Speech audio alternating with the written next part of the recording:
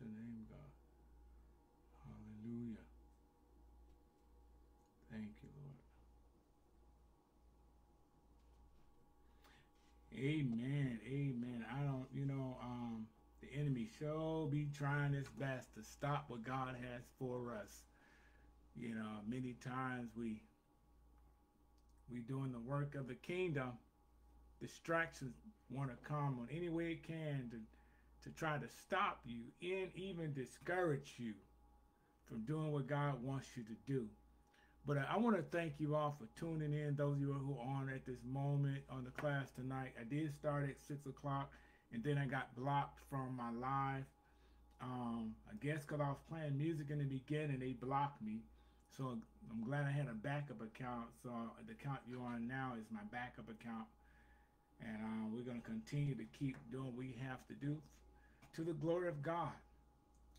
So, Father, in Jesus' name, God, I thank you that you're still good even in this, oh Lord, that when the enemy comes with a plan to destroy and to, and distract, oh God, what you're doing, Father God, to help enhance the knowledge and understanding of the Word of God for your people. We ask, Father, you continue to give us strength and power to keep standing on the Word of truth in spite of distractions, in spite of the attacks of the enemy, God. For greater is he that's in us and he that's in the world. And Lord, give us clear access to the airways tonight, oh God, that your word would, would go across, Father God, unhindered and checked by any demonic force, that you would get the glory. And I give you thanks in Jesus' name. Amen. Amen, everybody. God bless you. God bless you again. Thank you again for tuning in. I'm going to switch on my phone to the other account at the moment too and see how it's coming across actually. Okay, here we go. All right, so we started our lesson. Um, the new lesson tonight is still in the same book, The Incorruptible, the Realm of the Mind. Incorruptible Realm of the Mind. And we're going to talk about renewing your mind, salvation and baptism, transforming the mind. Salvation and baptism, transforming the mind. It's what our discussion is going to start tonight. I started at 6 o'clock, but like I mentioned, got uh, cut off because uh, Facebook decided to block me. The devil's a lie. He's still not going to be the hinder the word from getting across what God wants to speak to his people. Salvation and baptism. Salvation and baptism. It is very difficult to try to change the mind. It is only a reflection of the heart and cannot really be changed without first tackling the heart. So this point here, you cannot change your mind unless you get to the place in yourself allowing the Spirit of God to change your heart. Jeremiah 17, chapter verse 11 says, The heart of man is desperately wicked. Who can know it save God? He will render to every man according to the fruit of his doings. So God knows the heart of man and he knows the desires of man. He knows that we are, are human beings and we're going to make mistakes and we're going to have thoughts that's not of God that's going to hinder, distract, and delay the plan of God in our lives. But nevertheless, God is still in control of our thought life. And there's nothing the enemy can do can stop you when God changes your heart. When God changes your heart, your mind changes. And one thing about it, every day we have to gravitate to the Word of God in our thought life, in our mindsets, allow the Word of God to transform our thinking. Because if you don't change your mind, your lifestyle will never change. The reason why so many people are bound right now in religion, so many people are bound in um, demonic forces, uh, doing whatever the enemy put in their mind to do, killing people, running folk over, robbing people, breaking their homes. All these different things are normal response of human nature when you're walking in the absence of God's light and truth in your heart. But the word of God says until God tackles the heart first, your mind is not going to change because the mind, the heart, the body, the soul, the will, emotions all works together for the glory of God.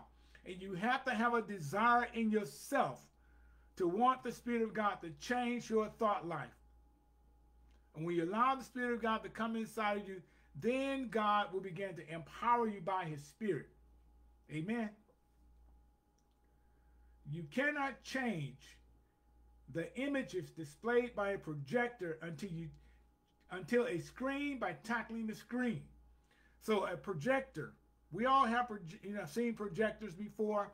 They use them in churches to uh, uh, to display the music lyrics on the screen or scriptures on the screen or whatever you decide you want to display on your screen. But if the image appears to be small, do you have to adjust the dial on the projector to enhance the vision of the image to make it bigger? The same way it is in our mindsets. The Spirit of God has to touch the heart of man to begin to adjust the dial of the image of the Spirit of God to be reflected in your mindset. The Word of God only has the power to influence, to enlighten, and to change your life only when you allow the Spirit of God the opportunity and the right and permission to change your heart. As such, the heart is the main factor when it comes to the mind. The heart is the main factor, the main component when it comes to changing your mind. You can be in a relationship, and the relationship can be one-sided because the other individual is not putting up any effort to make the relationship work. Or it can be a person in relationship always being toxic, always speaking negative things, always shutting down your dreams and visions, always never have anything good to say about you to enhance your growth. That's toxic. And one thing about God, God makes us aware of the enemy's devices. So be not deceived. What the man soweth, that should he also reap. So if you're sowing negative things in your life constantly and you gravitate to negative things, the result is negativity. Your life is going to respond to whatever you allow the enemy to inflict you with. You have to make a choice in yourself that I'm going to serve God with my heart, my soul, my mind, my will, my emotions, everything about me is going to be gravitated, be driven, and guided by the Holy Spirit. The contents of the heart determine whether a person is heavenly, earthly, or hell-minded. The contents of the heart. What's your contents? What is it that's driving you? What is it in your heart that's controlling you? And it's your decision in yourself to make a decision to follow after truth or follow after a lie. It's up to you. The only way you're going to overcome the thought life of the enemy is allowing the Spirit of God to change your heart. So whatever contents in your heart is either going to be heavenly, where you're going to dwell in the heavenly mind, minded, ascending in the kingdom of God, or earthly in the carnal mind, where your mind is driven, guided by the dictates of the flesh, or hell-minded, where you have the power and authority of the enemy destroying your life. To be hell-minded is to be governed and led and guided by the enemy from the power of hell, which is nothing but destruction.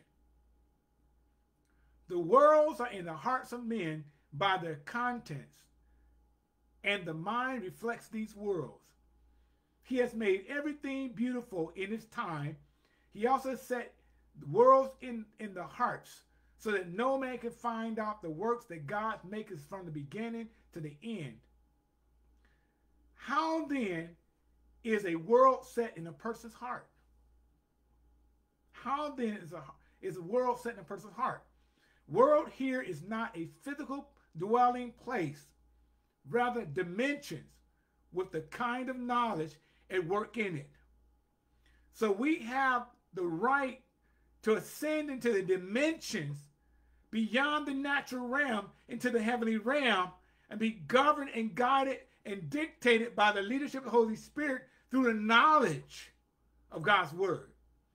The more I gravitate to the knowledge of God's word, God sets his world in our hearts, which is the kingdom dominion of the kingdom of God.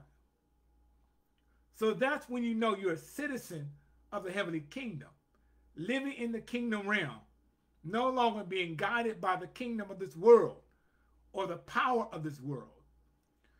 For a world to be set in the heart of a person means the knowledge and work in that world has entered and filled his heart. So, in order for the world to control your life, it has to be set in your heart through the information, through the, governing rules and, and knowledge and the wisdom and the dominion. Not only that, is rules and regulations must be set in your heart in order for it to work in your in your life. There is knowledge and work in this physical world, which upon being set in man's heart, maketh him earthly minded, giving him a place and jurisdiction in the realm of this world. That is so amazing. Because when you don't know the dominion and authority you have and the power you have at your exposal from the kingdom of God, then you allow yourself to be earthly minded, which is carnality. And a mind that's set on the flesh is an enemy of God. Excuse me. The mind that's set on the flesh becomes an enemy of God. That's earthly minded. So anything the flesh wants to do absent of the light of God's word, guess what? The flesh is going to do it. The flesh is going to gravitate to the things that appeases itself because it doesn't want to obey God, neither can it be without the Spirit of God. You got to have the Spirit of God inside of you in order to, to guide and govern and lead your flesh in the way of truth and righteousness. The knowledge of the world placed in you. This goes beyond being merely aware of the operations in given world. So if the knowledge of the world is placed in you, it goes beyond the operations of the world. Why? Because knowledge is power. The more I know, the further I can go in life. Just like in the corporate world. You go apply for a job and they're looking for uh, a CEO and you done went to school, got your education, you, you done studied, you know the ins and outs of what to do as a CEO, and you come to present yourself for an interview and you begin to give bits and pieces of the knowledge and the wisdom you attain through your career, it sets you in place of power to get a position as a CEO. Check this out. Isaiah chapter 54, verse 17. Isaiah chapter 54, verse 17. No weapon that is formed against thee shall prosper, and every tongue that shall rise against thee in judgment thou shalt condemn. This is the heritage of the servants of the Lord, and their righteousness is of me, says the Lord. What Jesus was talking about, I mean, Isaiah was prophesying about, was talking about the enemy forming weapons in your life. God showed me something that many times our conversations, the words that we allow to come out of our mouths, it forms weapons against ourselves. Not only does it form a weapon against yourself, it brings destruction in yourself. Because the words that you speak, if they're not the words of life from the word of God, you're going to listen to the voice of reasoning, the voice of the enemy, and the enemy going to use your words against you. And the same words you speak is going to begin to assassinate everything that God has set in motion for your life to prosper you. And it hinders you, it delays you from advancing in the kingdom of God. Amen. Amen. The mind is filled with the intents of the heart, and that gives the mind a place in the world which it belongs. So, what's your intentions? What's your motive? What is this driving you? What is guiding you? What is influencing you? The, the intentions of the heart. So if my heart, my intentions is always devise evil, guess what happens? My thought life is going to be governed with the same type of mindset. And I'm going to begin to manifest those thoughts into actions because there was an intention of my heart to do harm to somebody else. Not only to somebody else, but to myself. God showed me something. A lot of times when our bodies become afflicted, we allow those things to manifest in our lives because of our confession. So I get into agreement with what my mind thought about, what someone else spoke over me. I allow those words that have been spoken into my life to manifest. So now I become destructive to my own self, my own health. So the more I get into agreement that, oh, I'm sick, I ain't gonna never get well, it seems like I'm always having the same issue, always having the same problem. My children always making the same mistakes. My life is a wreck.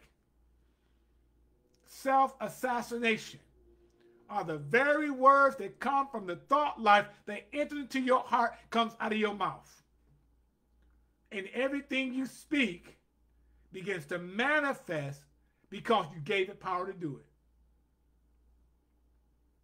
But he turned to Peter, said, Get out of the way, Satan. You are a danger to me because your mind is not on the things of God, but on the things of men. Matthew chapter 16, verse 23.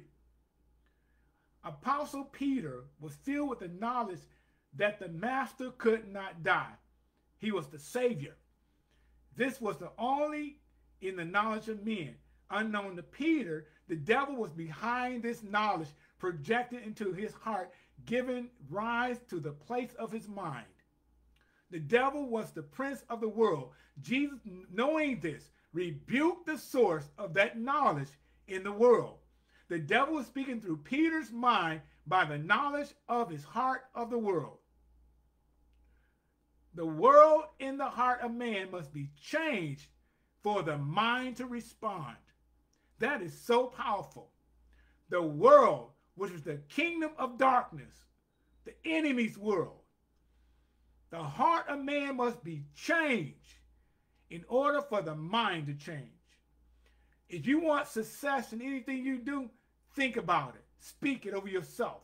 Pray on it. Begin to thank God for it. Thank God for your success. Thank God for your blessings and favor. Thank God for traveling ministry. Thank God for whatever it is you desire a new car, a new house, a relationship. Thank God for it and trust God at His word that my heart would line up with His word to manifest His will in my life. And I guarantee when you do that, it doesn't matter what thought life the enemy tries to inflict upon you. The Holy Spirit has the power to overthrow the thoughts of the enemy and give you the mind of Christ. That is so powerful. Salvation. Salvation Salvation brings to mind two things being taken from one end and being placed in, in another. Salvation in this context, it means to be rescued from the kingdom of this world, which is the kingdom of darkness, into, the, into that of the Son. Salvation means to be rescued from the kingdom of darkness into the kingdom of his dear Son. The world here is knowledge that keeps men earthly.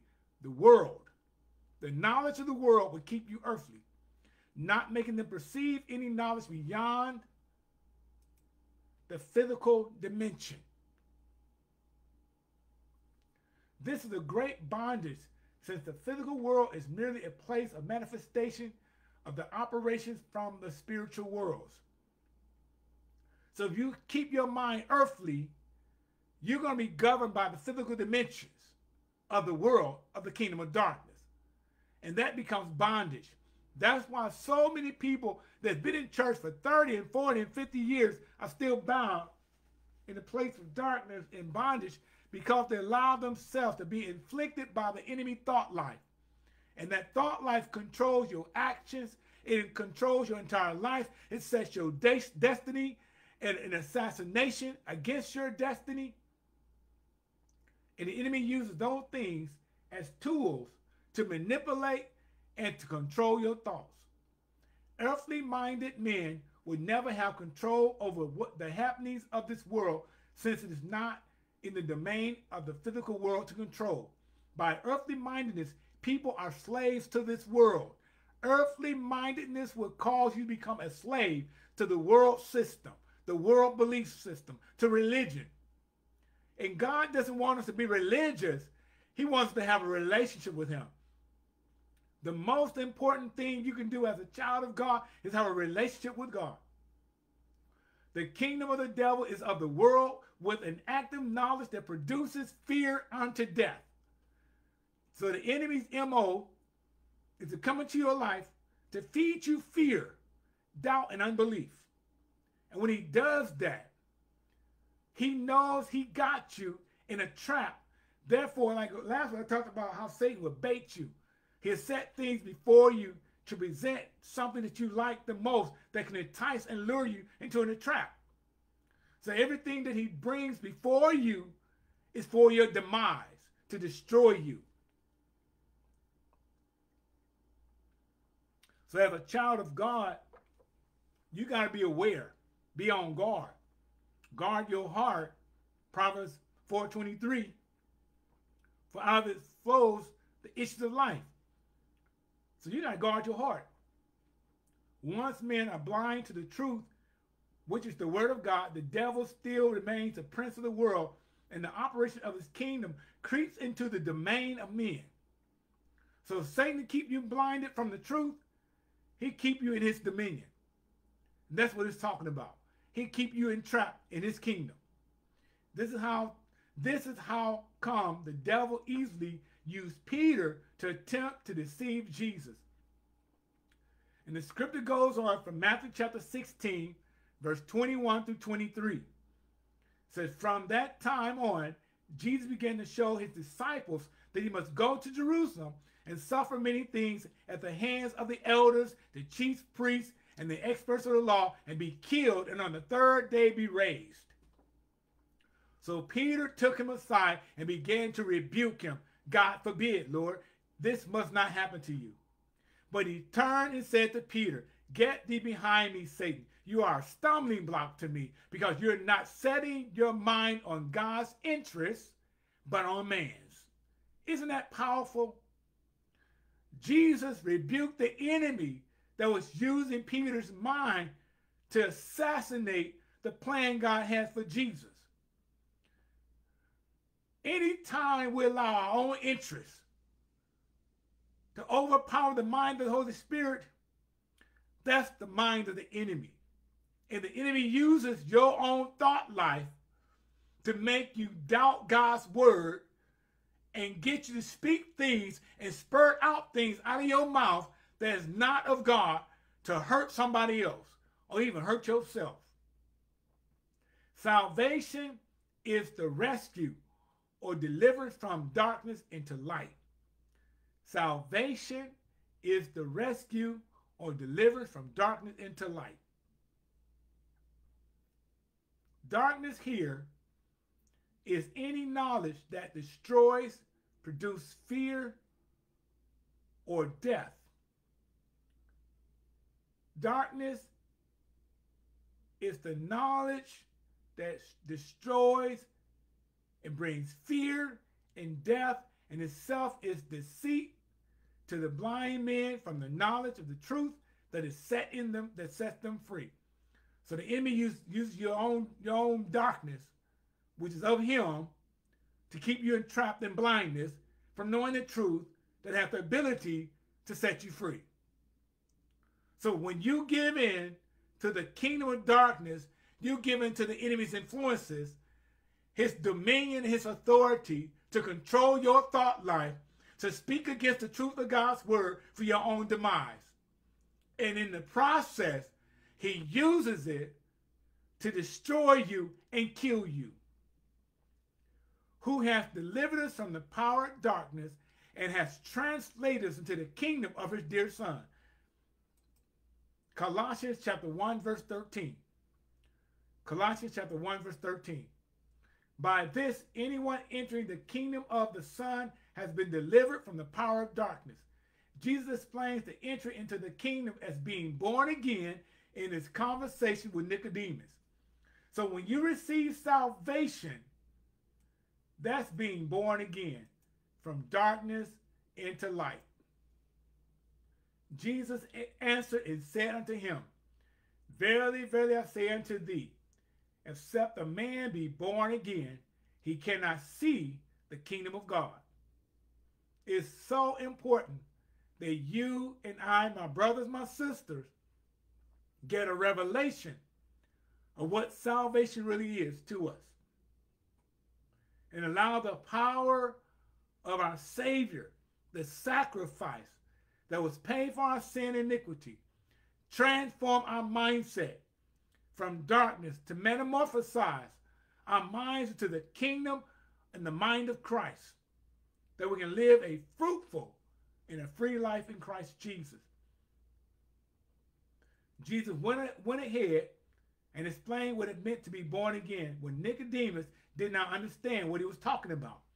Jesus answered, Verily, verily, I say unto thee, except a man be born again of water and of the Spirit, he cannot enter into the kingdom of God. St. John chapter 3 through 5.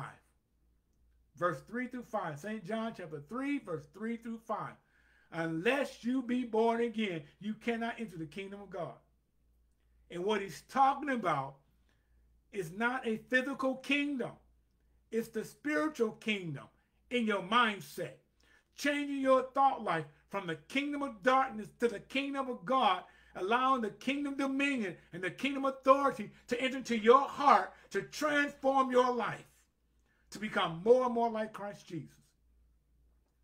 This misunderstanding, so the misunderstanding with these scriptures that is being born again only makes you see the kingdom as one would have been born of water and in the spirit in order to enter the kingdom kingdom of God. Verse 5 was just an explanation of being born again, was mentioned in verse 3, not a different requirement for entry. He only gave the verse 5 to answer the question to Nicodemus. In verse 4, Nicodemus said to him, How can a man be born when he is old? Can he enter a second time to his mother's womb and be born again? St. John chapter 3, verse 4. So Jesus answered his question. He asked the question, Jesus gave him an answer. A profound statement. You must be born again of spirit and of the water. The water is for the cleansing, the spirit for the renewal of the new birth. So once I go through the water of baptism, of taking off the old lifestyle, the old mindset, I can put on the new nature after the Spirit of living God by receiving Jesus Christ as Lord and Savior. That is so powerful. Thus, by answering, thus by the answer of Jesus, salvation is broken down into two steps: being born of water and being born of spirit. Being born of water means to be cleansed by the word of God.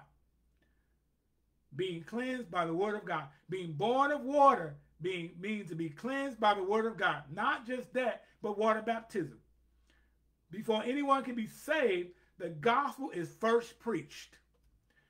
That is a very profound statement you need to write down.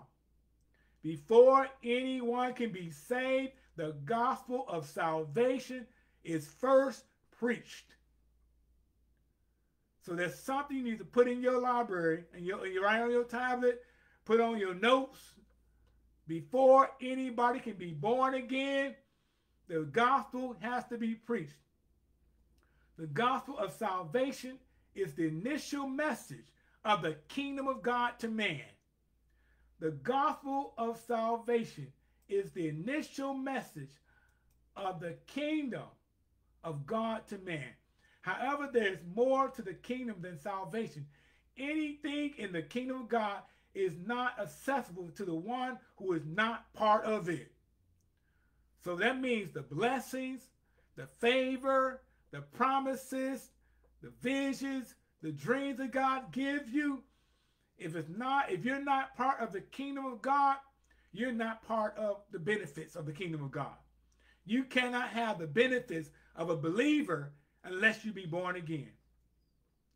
This is why salvation is the first message of the kingdom aimed at rescuing men from the power of darkness into glory and the liberty of the kingdom of God.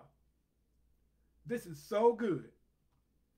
That's why salvation has to be preached, the message, to deliver man from the power and control of the enemy that's in darkness into the glorious kingdom of our Savior. Without salvation, whatever the kingdom has to offer is irrelevant to man. Without salvation, whatever the kingdom of God has to offer to you is irrelevant. You cannot attain it. You cannot have it. You cannot achieve it. You cannot enjoy it until you first be born again. The preaching of the good news of salvation is to inspire faith. The preaching of the good news of salvation is to inspire faith. Without faith, it is impossible to enter the kingdom of God. Without faith, it is impossible to enter into the kingdom of God. The gospel of salvation is aimed at causing a person to ignore his present state to believe his justification by the standards of the kingdom of God. In other words, when the gospel is preached, the gospel gives you the insight, it gives you understanding, it gives you the knowledge, revelation, excuse me, to believe in the justification that Christ paid the price for your sin and iniquity to bring you new life through his death, burial, and resurrection by the standards of the kingdom of God. Then every precious promise that God has for you, you can achieve it by faith. Because the gospel, it builds your faith to trust in God's ability to save you, deliver you, and set you free. The message of the kingdom of God just says Jesus has qualified you for the kingdom of God. Holding on to this word and ignoring the present state of your ticket into the kingdom. So God, through Jesus Christ, qualified you, justified you, made you righteous, gave you the right and the privilege to come into his kingdom, to receive all the benefits of the kingdom. It's like saying to a person, someone that's paid your school fees, go there, mention his name, and your documents will be handed over to you. The kingdom of God is, is of faith, and everything it has to offer is received by faith. Everything that you want from God to do in your life today, my brother, my sister, is only done by faith in God's ability to do it. The kingdom of God is of faith, and everything it has to offer is received by faith. It is only those who still hold to the understanding that they have to do something or to qualify that find the difficult entry into the kingdom. So if you think your works is what's going to qualify you, it's going to be difficult to enter to the kingdom of God or even to the kingdom principles or the kingdom benefits because you, you're trying to do it by works. And works does not work by itself without faith. Faith without works is dead. But when you mix your works and your faith together to do the work of the kingdom of God, then it gives you the entitlement to receive all the benefits that God has for you. That is it. That's shouting news right there. Hallelujah. Faith is so basic. Anyone who can use a coupon or respond to a discount has faith. It means you held on to the words of the sellers when you received the message of the coupon or the discount sale. You do not have to receive discounts by the works, by your works. Discounts are the works of the seller, and you enjoy them when you act upon receiving the knowledge of them.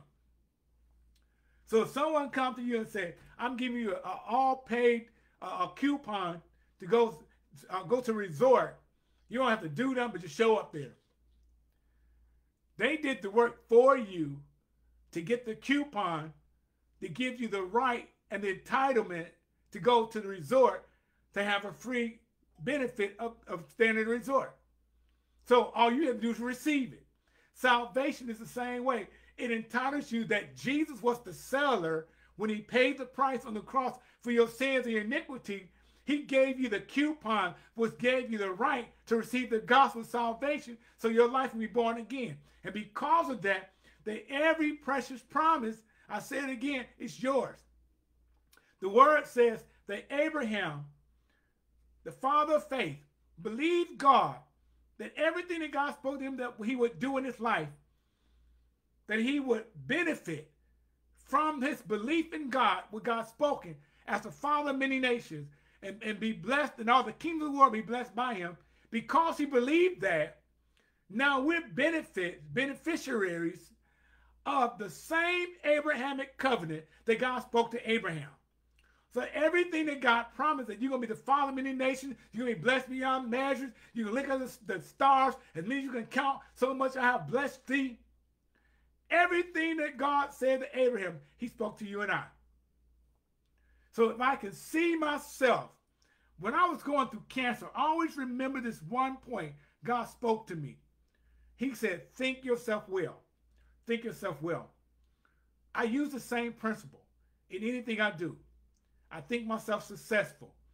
I think myself being a great speaker. I think myself being a great teacher. I think myself in line with the word of God, what God has spoken to me through his word. So I was lying in the hospital bed, God says, by stripes you're healed. He says, so think yourself well. And as I begin to think myself well and find scriptures that validated that I was already healed by the stripes of Jesus Christ, it began to manifest in my body because I changed my thought life by allowing my heart to be changed by the word of God. So once my heart got aligned with the word of God, my mind and my thought life began to change and come into agreement with everything God has spoken. So I want to encourage you tonight.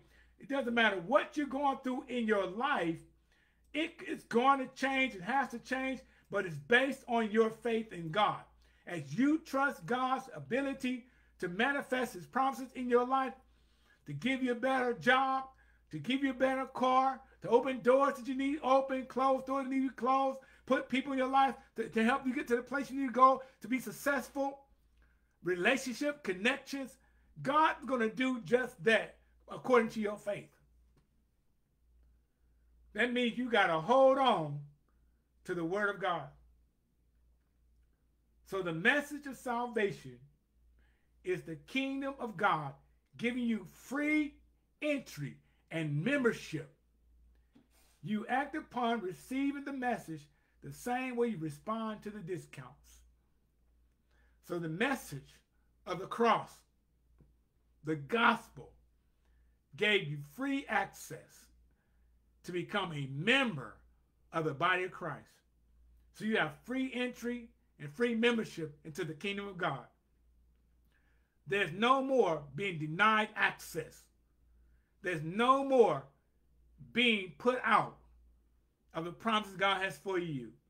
Because everything God's spoken in his word, it has to manifest because he spoke it, it was done, he commanded, and it stood fast. So when God speaks in your life, my brother and my sister, you can guarantee God gonna back his word up. That word shall manifest in your life. You just gotta believe it.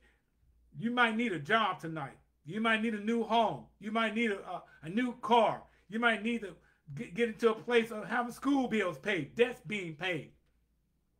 Doesn't matter what it is. Change your thought life. Align your mind with the word of God and allow the word of God to manifest in your thought life. And I guarantee the word will begin to produce fruit in your life to bring into reality the things you've been praying for and trusting God to do. All you got to do is act upon receiving the message the same way you respond to discounts. Someone give you discounts, the same response and excitement you get when you get a discount is the same response you need to have for God.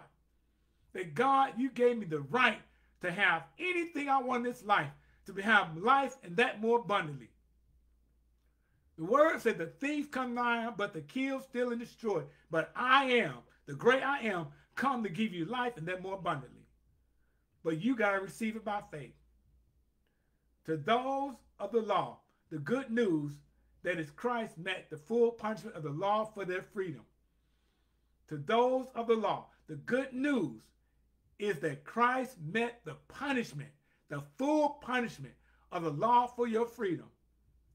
See, when you understand what it's talking about here, read the story of the children of Israel, how many times they were bound by the law and decrees because of their rebellion. So God allowed laws to be put in, in force and in action to point them to Christ, get them to a place of stop sinning. But because of that, it became a requirement that you sin, you were punished. So Jesus come along in the New Testament, fulfills the law, takes the punishment and requirements upon himself for our liberty. So now, now we're no longer bound to this law as a binding contract, but now we've been set free by the power of the blood of the Lamb. The blood paid the price for the contract for, for the contract of your punishment. The law is only a binding to a man so long as he alive. But when he dies, he's no longer under the law, he is free. When Christ died, all those under the law died with him. They are all freed from the law since the law does not work beyond death. This is indeed good news to those under law. They died with Christ so that the law no longer binds them. They have been made free from the law. So you've been made free. I've been made free from the bondage of the law, the control of the law, the system of the law. I've been set free. When Christ died, the word says we died with him. And when he rose, we rose with him to new life. So guess what? The law that said that you were held in condemnation for the sins and iniquities and things you committed, Jesus paid the price for that punishment.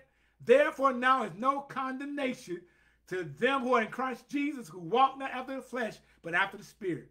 So as you've been brought into the new life through the gospel, now you've been set free from the punishment of the law. And now you've been given the right and the entitlement to the benefits of everything that Christ has fulfilled through his sacrifice. For the love of Christ constraineth us, because we thus judge that if one died for all, we then all dead. And that he died for all, that they which live should not henceforth live unto themselves, but unto him which died for them and rose again. Second Corinthians chapter 5, verse 14 and 15. Second Corinthians chapter 5, verse 14 and 15. So the love of Christ constrains us. It compels us. It holds us in conviction that when Christ died, we all died. But then when he rose again from the dead, we rose with him to the new life. So we're no longer victims of condemnation. Now we've been set free by the life of Christ. For those no longer under law or, or even attempting to live by them, their good news is not in the death of Jesus. It's in the irrelevant to them. It's irrelevant to them. So people who continue to live under law, it's irrelevant that Christ died for them. For such people, the good news is that eternal life has come unto them in the person of Jesus. And Jesus is the eternal life of the Father, and the knowledge of Jesus gives them eternal life. To know him is eternal life. This is not a complex as it seems. It's not as complex as it seems. When a student enters to a law school, he is not a lawyer, but something very interesting happens. In the course of his schooling, the personality of the lawyer is revealed to him. The personality of a lawyer here means the full stature of a lawyer with every knowledge that makes him a lawyer who is who, who he is. The full stature of a lawyer is gradually revealed to the student by the words coming from the tutor. So as a person goes to school for law school, it's saying you, you're not going to get the revelation until the tutor begins to reveal to you the statutes and the qualifications of a lawyer. So once you begin to retain that information, now you get a revelation that I'm a lawyer. Every word that a student sees is a personality of a lawyer being given to him. As a student continues to receive these words, the personality of a lawyer is gradually formed in him. And when he comes to full stature, you will no longer see a student you will see him a lawyer. So once you get a revelation of what Christ has called you to be, then you begin to walk in it. You begin to live in it. You begin to manifest it everywhere you go. That I'm a child of God. I'm an heir of the kingdom. I'm blessed and highly favored because now I believe it. I receive it and I accept what God has done for me. And now I'm living and abiding in it. In the same way, every word concerning a person of Jesus is eternal life. The one not under law has to receive Jesus in the knowledge that he is eternal life of God. And this is where he has also to exercise his faith. And human education can give persons what it stands for. Jesus also gives what he stands for, for eternal life. So even human education, it begins to give you understanding of what, what life is about for you in that type of degree that you're going for, career you're trying to achieve, the same way it is in Christ Jesus as eternal life. And thou hast given him power over all flesh, that he should give eternal life to as many as thou hast given him. And this is eternal life, that they may know thee, the only true God, and Jesus Christ, whom thou hast sent. That is powerful. St. John chapter 17, verse 2 and 3. St. John chapter 17, verse 2 and 3. Thus, each category is what is expected to believe by what is preached. Those of the law have believed they are free from the law by the death and resurrection of Jesus, and those without law believe that Jesus is a person of eternal life. Believing this message of salvation is referred to as being born of water. Believing the message of salvation, which was preached to you, is as demonstration of faith, the basic factor of the kingdom of God. So believing the message of salvation is like being born of water being cleansed through the water of the word, but believing the message of salvation that was preached is a demonstration of faith. Because without faith, you can't receive salvation. Once you believe, you are cleansed by the washing of the water by the word which is preached to you, that he might sanctify and cleanse you with the washing of water by the word. Ephesians chapter 5, verse 26. Ephesians chapter 5, verse 26. Thank you, Lord, for your word. Hallelujah. Glory to God. You are now clean through the words which I have spoken unto you. St. John chapter 15, verse 3. St. John chapter 15, verse 3. Once the message of salvation is believed, the evidence is given by the confession. Once the message of salvation is believed, the evidence is given by your confession. Confessing what you believe by hearing the message of salvation is the testimony before the kingdom of God that you are of faith. So you believe the message and confess with your heart what God has done for you is an operation of faith in the kingdom of God. This testimony is very vital. It is an open confession to the kingdom of God, which you cannot see with your physical eye. For those of the law, that is faith confession of the Lordship of Jesus his death, and his resurrection. So believe the word of God, stand on the word of God, and know the word of God for yourself. We almost done. Have a few more scriptures. That if thou shalt confess with thy mouth the Lord Jesus and believe in thy heart that God is raised from the dead, thou shalt be saved. Romans chapter 10, verse 9. Romans chapter 10, verse 9. Hallelujah. Glory to God. Thank you, Jesus. St. John 15, verse 3. Thank you, Jesus. Hallelujah. But Romans chapter 10, verse 9, that thou shalt confess thy mouth, believe in thy heart, God raised from the dead, thou shalt be saved. For, for those without law, this is a confession that Jesus is the Son of God. For those without law, this is a confession that Jesus is the Son of God. And Simon Peter answered and said, Thou art the Christ, the Son of the living God. Matthew chapter 16, verse 16. Matthew chapter 16, verse 16. Hallelujah. And we believe and are sure that, that thou art the Christ, the Son of the living God. And we believe and are sure that thou art the Christ, the Son of the living God. St. John chapter 6, verse 69. St. John chapter 6, verse 69. Amen. Hope you're writing these scriptures down. These are some good scriptures to go back and, and reflect over for salvation if you want to learn how to minister to somebody else about salvation. These are some of the very scriptures you can use. And then the confession of faith seals the cleansing of water by the word. The confession of faith, it seals the cleansing by the water of the word. Amen. Amen. Hallelujah. For with the heart man believeth unto righteousness, and with the mouth confession is made unto salvation. Romans chapter 10, verse 9 and 10. Romans chapter 10, verse 9 and 10. Also, uh, when you get, get a revelation that your confession it introduces salvation to your heart, it changes your mind to believe that you are what Christ says you are, a child and an heir of the kingdom of God.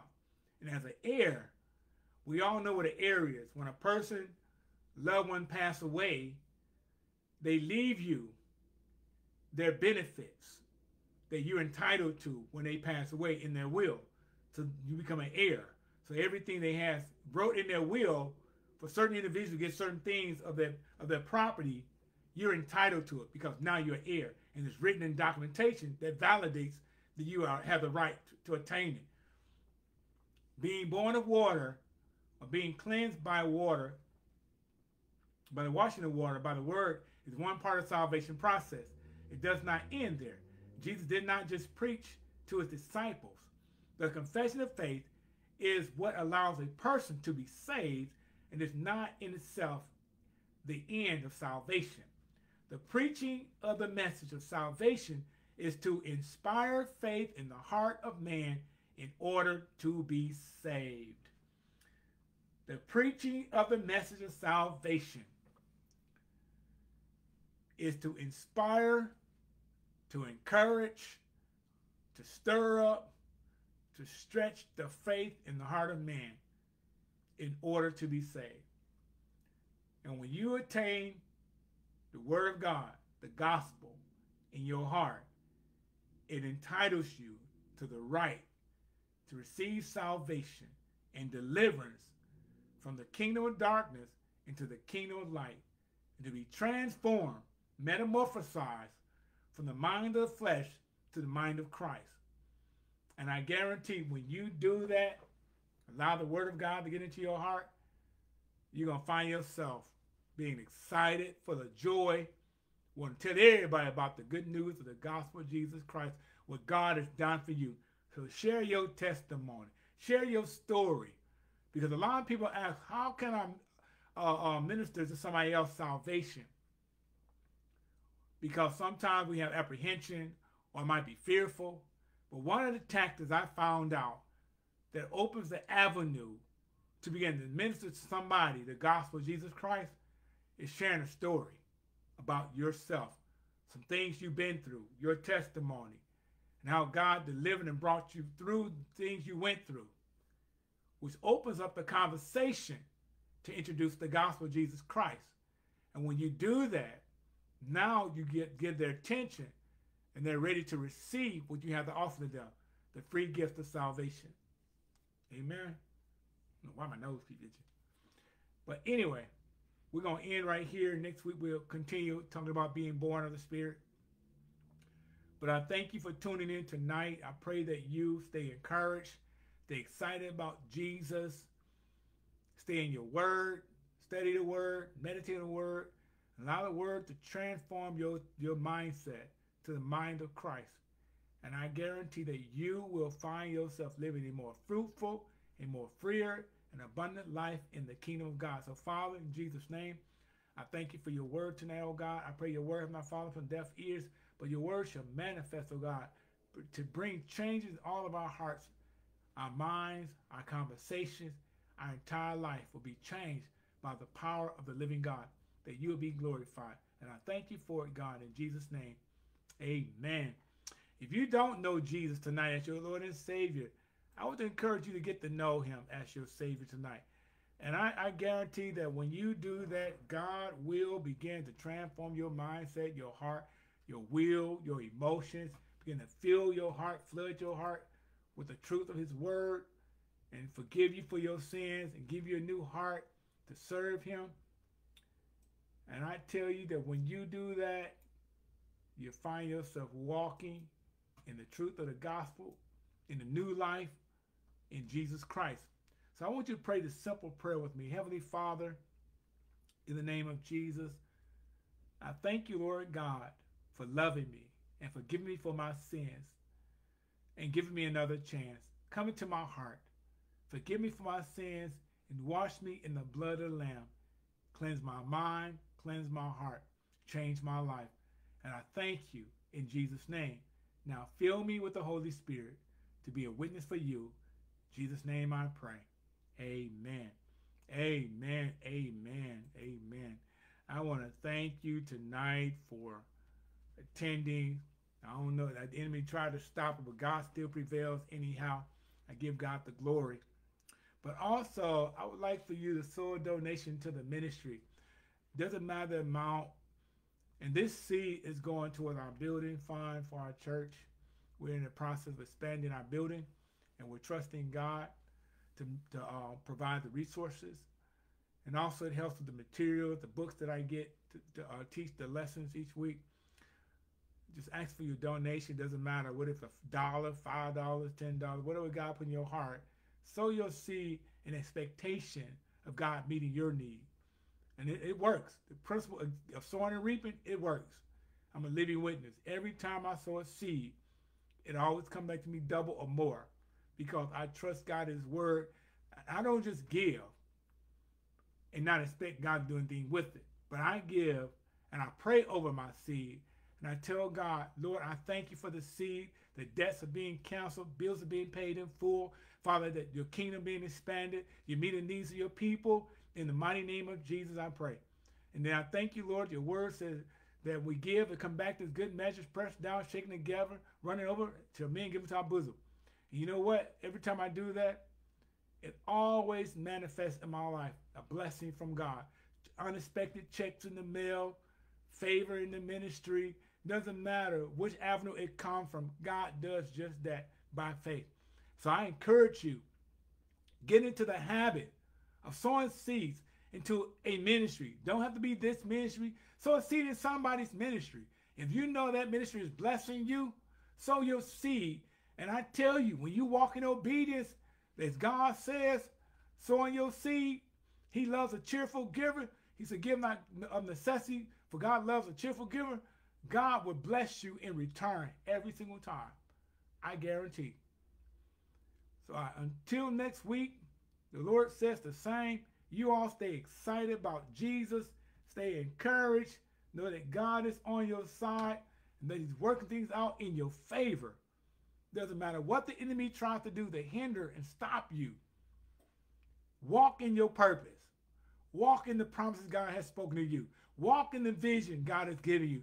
Don't allow yourself to hinder your own vision your own destiny God has set before you. Because when you pray over what God has told you to do and trust God to do it, watch it work.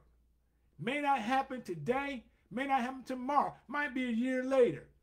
I was prophesied years ago about being in leadership in over ministry. And guess what? God has done that several times in my life, placed me in a position where I'm always in leadership, doing something for the kingdom of God. And I and that was over 20 years ago. A man came from out of town from Oklahoma prophesied that a word over me. And I trusted God's word. I kept believing the word until that word began to manifest. And I tell you, every word that God speaks in your life, he said it will not come back to him void. That means empty. It will not manifest. But he said shall prosper to place he sent it and do as he please. So I guarantee when you trust God's word, his word will manifest in your life. Stay encouraged, stay excited about Jesus, and know that God loves you, and so do I. Shalom, peace be unto you. If you have any questions, inbox me your questions, and I'll, I'll answer your question, and it's to my to the satisfaction of the Holy Spirit. And I, I pray that You all be blessed and continue to be covered with the Spirit of living God. As you go out, you're blessed coming in, you're blessed going out. And everything you touch will be blessed in Jesus' name. Amen.